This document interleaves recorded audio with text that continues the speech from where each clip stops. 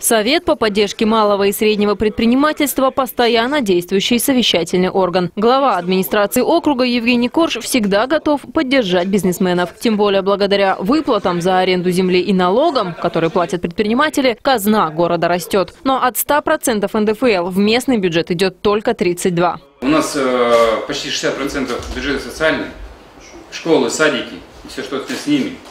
Остальное потом на содержание города.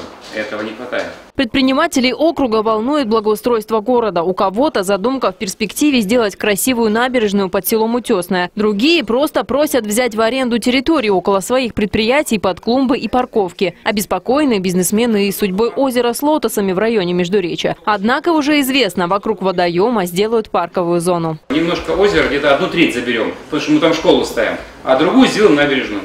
Будет к лотосам подходить как нормально. Предпринимателям рассказали, на что тратится бюджет города и за что бизнесмены платят налоги. Также замглавы по финансовым вопросам представила проект бюджета округа на 2017-2019 годы. Мы бюджет 2017 года назвали э, индикаторный бюджет. То есть индикаторы, они не за кадром у нас теперь, а они первичны стали. Когда мы говорим не о том, сколько мы освоили денежных средств, а то, что мы достигли сегодня и сейчас.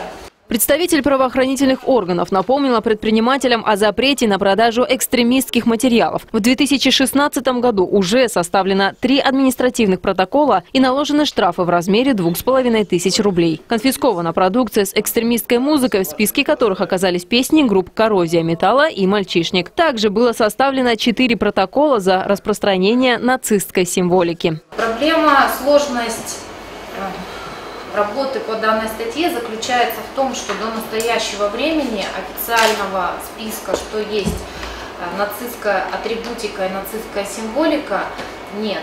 Совет предпринимателей принял всю информацию к сведению. Следующее заседание Совета в четвертом квартале этого года осенью. Екатерина Рехтина, Анатолий Молчанов, Телемикс.